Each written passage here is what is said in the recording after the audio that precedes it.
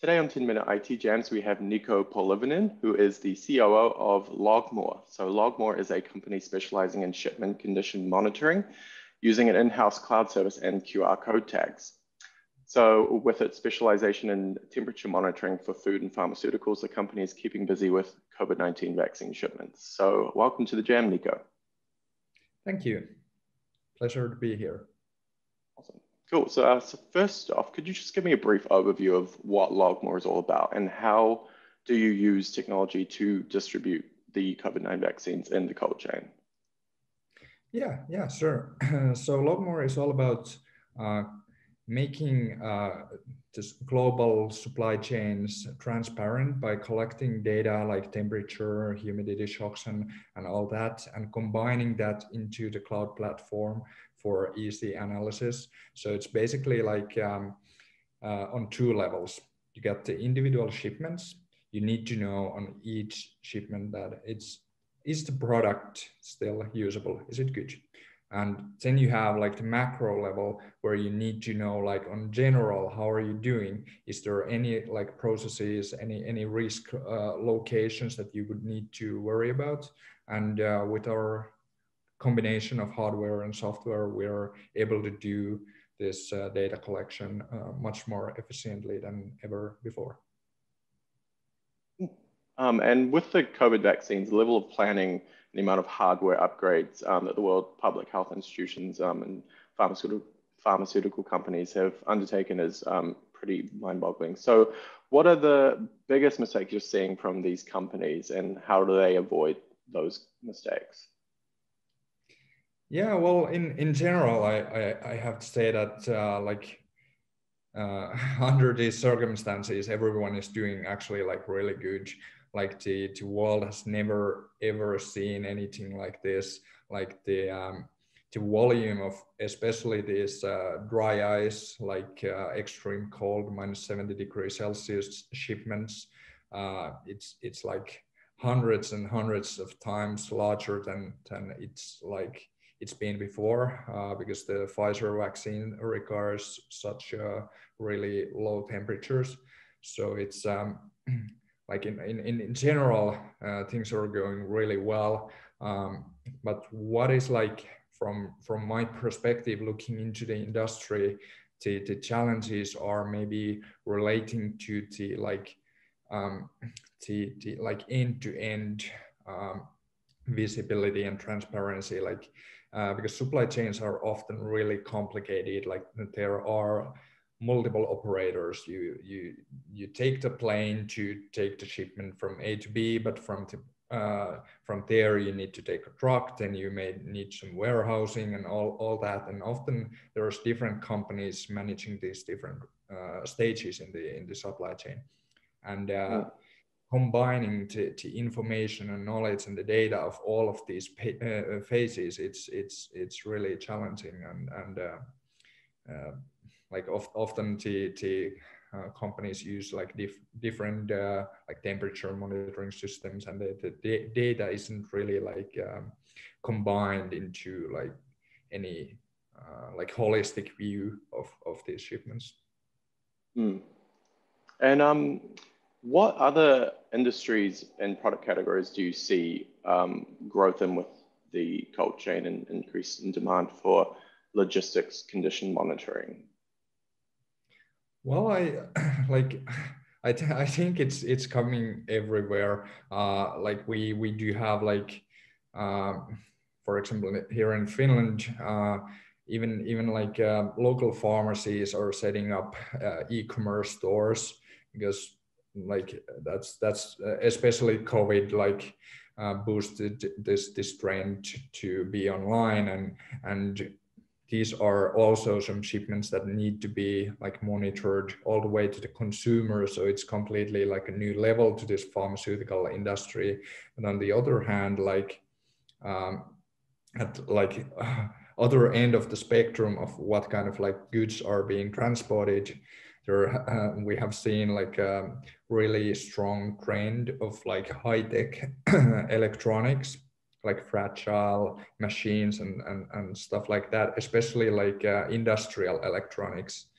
Uh, the, the need for measuring, uh, especially temperature, humidity, and shocks is really in, in, in rise.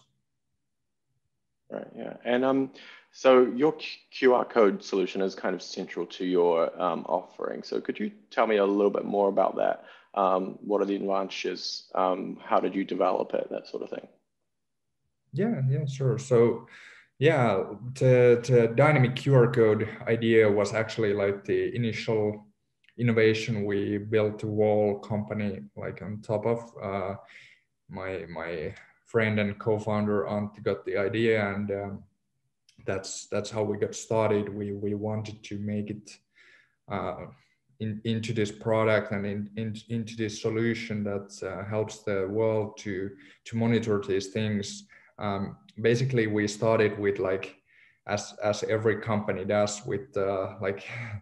Um, proof of concept devices the first ones were like really big and it took us some some time to get into like the current format which is pretty pretty small.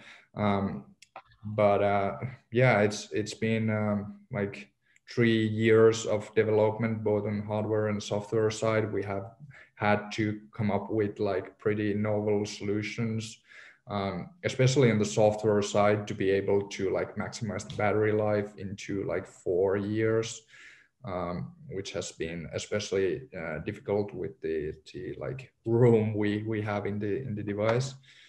Um, yeah, it's um, the, QR code itself. It's it's dynamic, meaning that uh, it actually changes over time. So that's like the unique innovation. It it encodes and and, and encrypts the measurement data into the QR code. So it's it's just a standard QR code, but it's changing, so it's able to embed more data into it. Cool. Um, and so most supply chain data logger systems use black box um, proprietary, proprietary database tech, um, whereas you guys offer APIs that allow your customers to integrate their logistics, condition readings um, with, with, whatever platforms they like. So what are the benefits of that particular offering um, and how does it change the norms of quality assurance and data transparency? Yeah, well, that's that's an interesting question. Um, like, well, basically today, like any new software platform you're developing, kind of it, it needs to be integratable into the existing solutions because standalone systems are not really like efficient, especially in larger organizations where you need to like have access management and all, all that. So being able to actually pull the data from our platform into let's say SAP or other ERP systems or like logistics management systems, it really helps the um, especially enterprises to be able to like utilize the data much more than just like um, as a standalone product.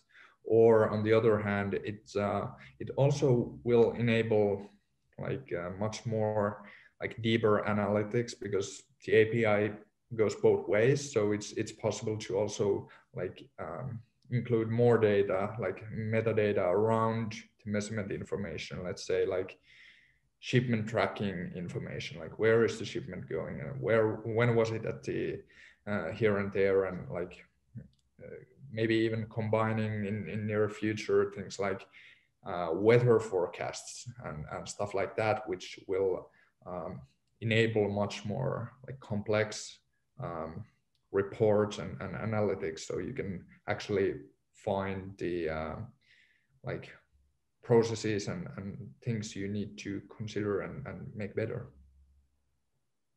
Awesome. Cool. Well, um, finally, uh, if a prospective client or uh, enterprise end user wanted to get in touch with you guys, what's the best way?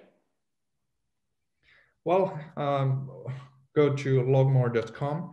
Uh, we actually just launched our new front page. So I, I really hope you like it. so uh, you're able to find a like virtual demo there. You can actually see how the uh, the devices and the cloud work uh, like there in, in real time. You can play around with it and uh, yeah, just uh, get in touch through the website. Perfect. Cool. Um, well, that concludes today's 10 minute IT Jam with Logmore COO Niko Polvinen. Thank you so much for joining me today, Niko. No, thank you.